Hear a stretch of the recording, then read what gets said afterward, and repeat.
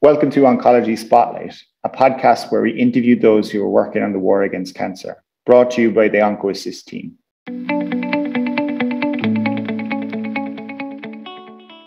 Thanks very much for joining us today, Andrea. Uh, first of all, could you please briefly introduce yourself and your background?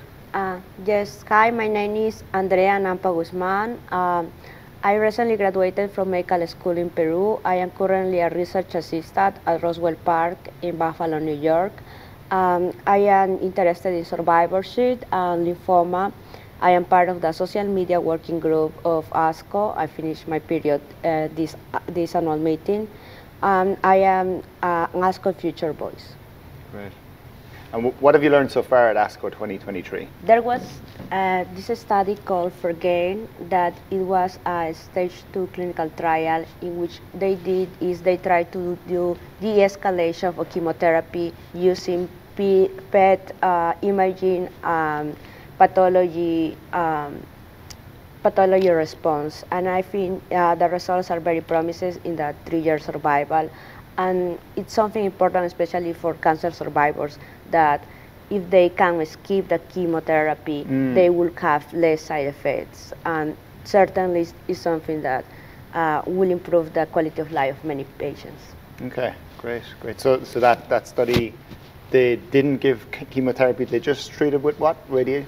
Oh, so they they have HER2, they were HER2 positive breast cancer patients, mm. and what they did was uh, they divided in group of that they received the HER uh, therapy mm. plus chemo versus HER therapy without chemo. Okay. They did um, a PET scan to see if they were responding or not, and according to that, they decided to give chemo or not. And then once the patient uh, qualified for surgery, again they did a pathology sample and see if they will be free chemo or no chemo. Uh, this may look like a complicated multi-step process, but the idea is that we can personalize the treatment for the patients and avoid uh, the side effects that chemotherapy can have. Excellent, excellent.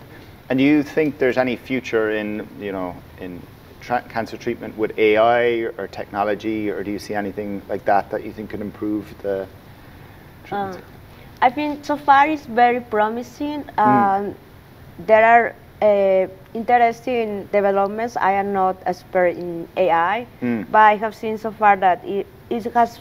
We are trying to use it like to write notes because a lot of uh, patient care sadly is uh, documentation. So mm. we're, there, there are people who are trying to to use it to. Uh, um, make uh, notes easier and faster, and mm. also like try to create databases in an automatic way. But this is still in progress. Yeah, yeah, that's a good good use case. Mm-hmm. Um, and then finally, is there any studies or any presentations that have occurred over the weekend that you think will change clinical practice next week? The trial I, talk, I just talked about, uh, it has promising results, but uh, we still need validation for uh, more uh, studies in order to be implemented, so yeah. not yet. Okay, okay. Great. Well, thank you very much, Andrea. Thank much you. appreciated. Thank you for your time.